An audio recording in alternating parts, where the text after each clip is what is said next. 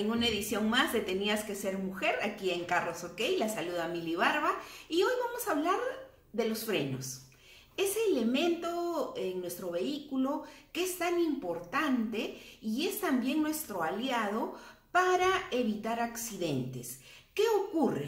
Si nosotros, eh, si nosotras, bueno, nos, simplemente estamos acostumbradas a sentarnos y a manejar, eso es algo que venimos diciendo en varios programas que no se debe hacer.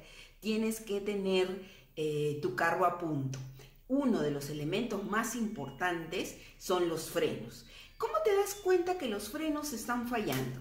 No vas a esperar a tener un accidente o a de repente a chocarte o a atropellar a alguien para recién fijarte, ah, se me vaciaron los frenos. No.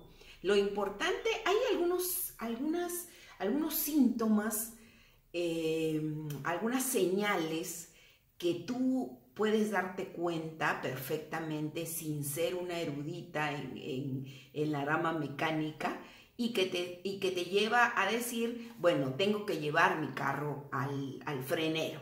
Porque también, chicas, cada parte del carro tiene un especialista.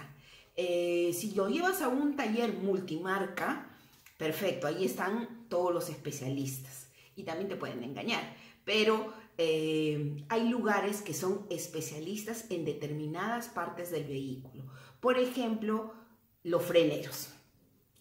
Estos, estas personas están dedicadas y tienen toda una tienda, ¿no? un, taller donde van a poder eh, arreglarte los frenos, eh, cambiar piezas, modificar lo que necesites. Entonces, estas, estas casas especializadas en determinado punto, en determinado elemento del, vehículo, es muy importante que con el tiempo las vayas conociendo.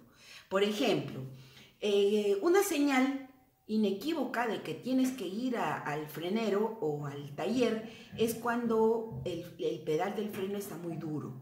Esto puede deberse a suciedad o a otros factores. Si está muy duro, entonces alerta, llévalo. Si por el contrario el pedal se hunde hasta el fondo, es tienes que llevarlo inmediatamente, no esperes más para llevar este, tu carrito al, frenero.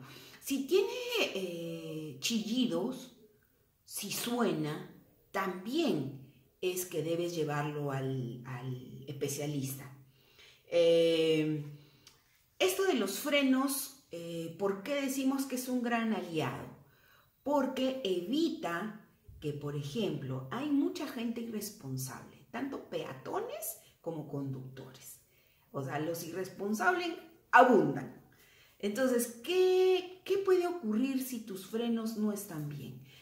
no es necesario que se te vacíe el freno. Simplemente si tu freno está muy largo, no va no vas a parar en el momento que deseas parar. Hay rompemuelles, por ejemplo, que no están señalizados y si tú vas por un lugar que no conoces y ese rompemuelle no está señalizado, tu carro va a tener un tremendo golpe ahí. ¿Qué necesitas? De pronto lo ves ya cuando estás muy cerca y si tus frenos no están bien, te vas a, vas a golpear el carro, lo podrías dañar. Otro punto también importante es eh, que si ves a un peatón que se cruza de manera intempestiva y tus frenos están bien, tú tienes la seguridad de que el carro va a parar y de que no vas a dañar a la otra persona y puedes tomar una distancia y, evitas, podría ser hasta una muerte. Entonces, chicas, es muy importante que ustedes eh, se fijen en este momento en sus frenos. Si no son ustedes las que llevan el carro al mecánico, yo les diría que ya empiecen a ir ustedes mismas para que sepan de qué se trata esto, este mundo vehicular. En los siguientes programas vamos a ir tratando paso por paso y punto por punto estas, estas situaciones que podrían ponernos en peligro a la hora de manejar. Ustedes saben, chicas, que yo soy periodista, que no soy mecánica, pero junto con ustedes estamos aprendiendo. Eh, les pido por favor que se suscriban a, nuestro canal, que se suscriban y que me envíen, que me sigan enviando los temas que desean que aquí tratemos. Muchísimas gracias, cuídense y hasta la próxima semana.